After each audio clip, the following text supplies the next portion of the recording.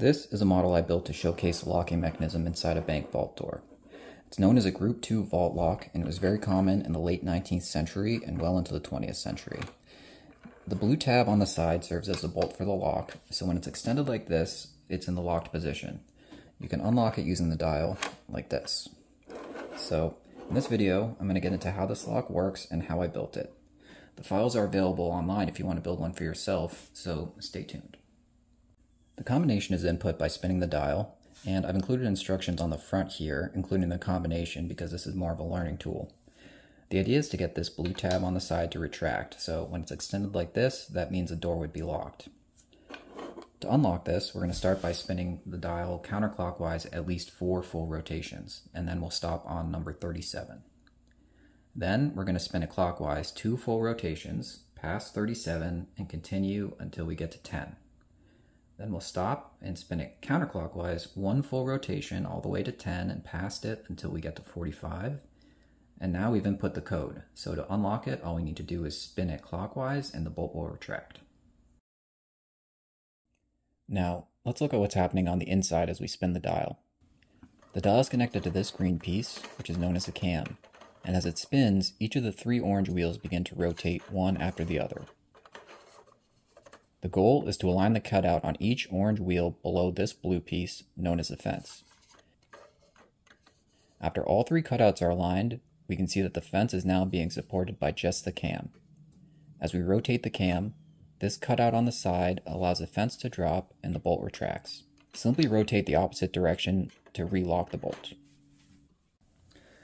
So this project is actually sort of a half step to my next project in which I'm going to build a small bank vault door with an actual combination lock. And I actually did this more as a test experiment, but it actually turned out to be pretty interesting. So that's why I've decided to make a little video and publish the files. Um, it's a cool teaching tool and it seems like a sort of interesting thing to just put on your bookshelf. And, you know, if anyone gets curious, they can learn how a bank vault door works. So now I'm going to get into how to actually put this thing together. And you can go over to printables and download all the parts for free. And assembly should just take a few minutes.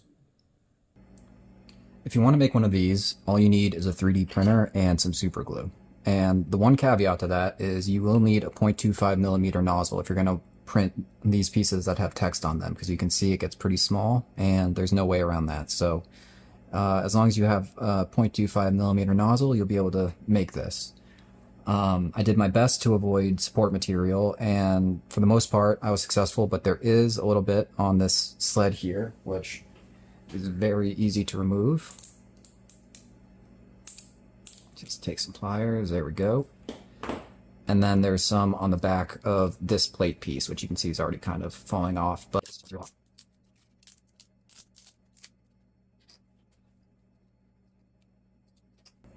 All right, we have three wheels at the heart of the locking mechanism, and I printed them in orange PLA for this model, but the important thing to know for now is that each of these is a unique shape, so I've added an indent at the top near this notch on each of these pieces to indicate a number. So that's number one, there's number two.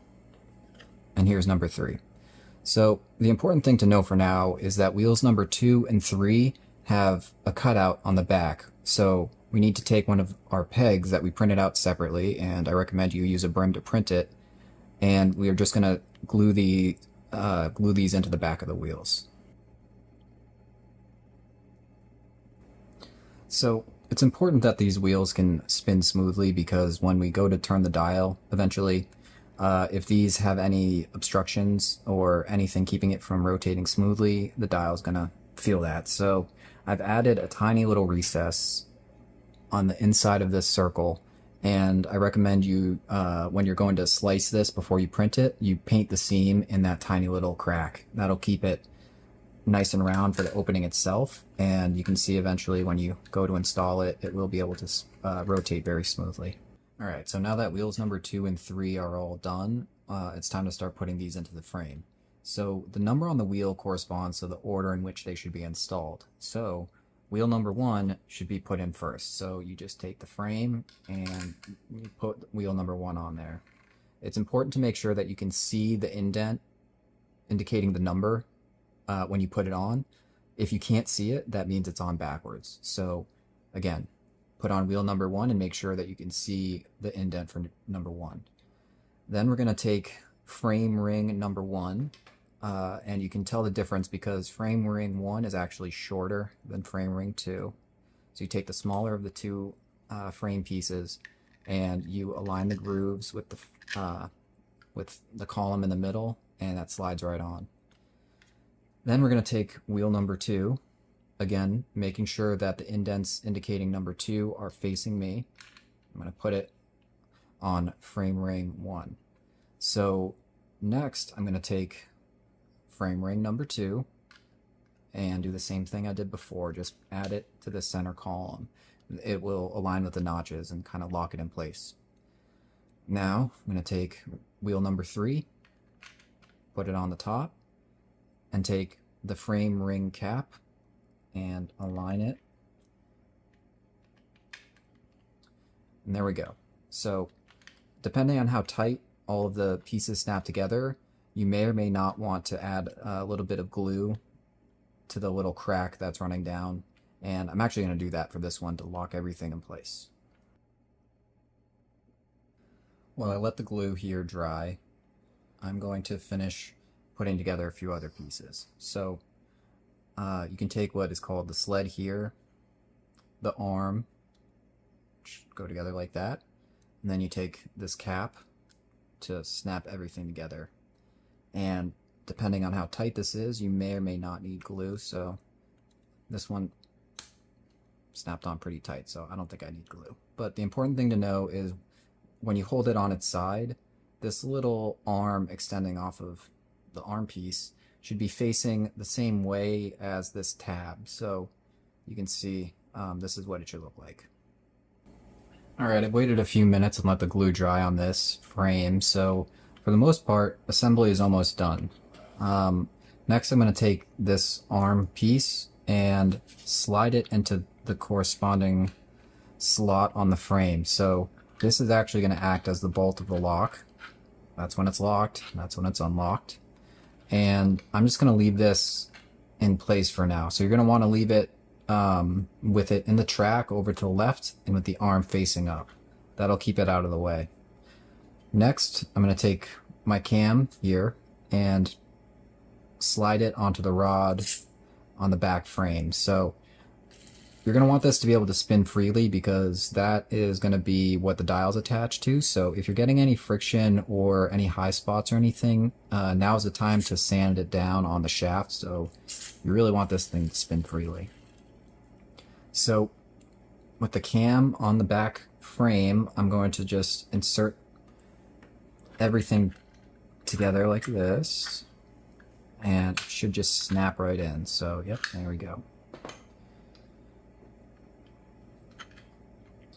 Um, I'm going to add glue for this one. And again, depending on uh, how tight the fit is, uh, you may not need glue.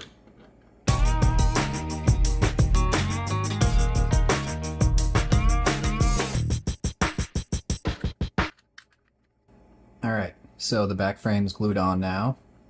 You can slide this arm into place like that. And now we just need to add the final few pieces. So I'm going to start off by taking this dial piece and you can see there's a, a square hole with a notch in it and that notch aligns with this notch on this cam so you can only put on the dial in one orientation and that makes sure that the combination will be the same always. So I'm going to add a little bit of glue to secure the dial to the cam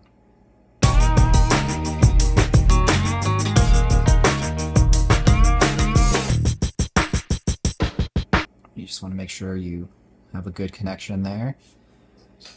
Now I'm going to take this plate, which I've already removed the supports, leaving just um, two pegs on the back, and I'm just going to snap it into these holes on the front here.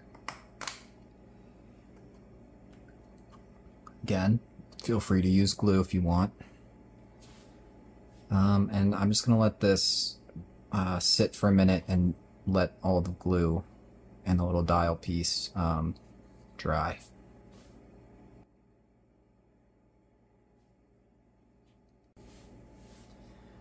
All right, so the dial's on there, nice and smooth.